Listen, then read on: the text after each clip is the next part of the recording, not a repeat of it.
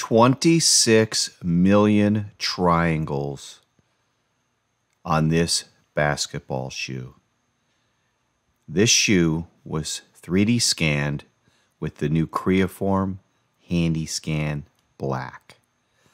If you look at the resolution, the quality, and the detail of this 3D scan, it's absolutely amazing. This type of quality in the past was only available on very expensive, very complicated, high end, structured light 3D scanners. We scanned this basketball shoe in a matter of minutes with the new HandyScan scanner. This data is right from the scanning software, no special processing, no smoothing, no putting uh, the data together somewhere else and bringing it in. This is right out of the scanning software. If you zoom in, you can see the texture on the straps here. You can actually see the texture of the rubber uh, in this area, the stitching. Let's zoom up over here and let's turn on the triangle edges just to give you an idea of the density of this data. There's so much data here, you've got to zoom in. Let's take a measurement.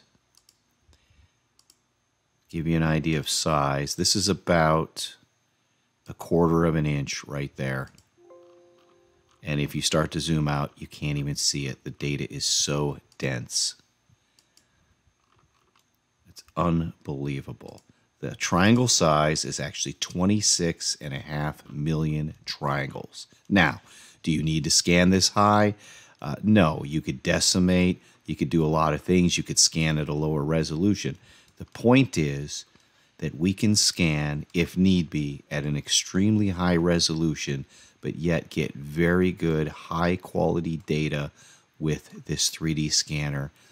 This file, just this raw scan file, the STL file, is 1.5 gigs. Just gives you an idea of the capability if you do need it. If you don't need it, you don't have to set it that high. But if you do, if you're looking for the ultimate in resolution and data quality, it's now available in a very easy to use handheld 3D scanner with the new Creaform Black 3D scanner.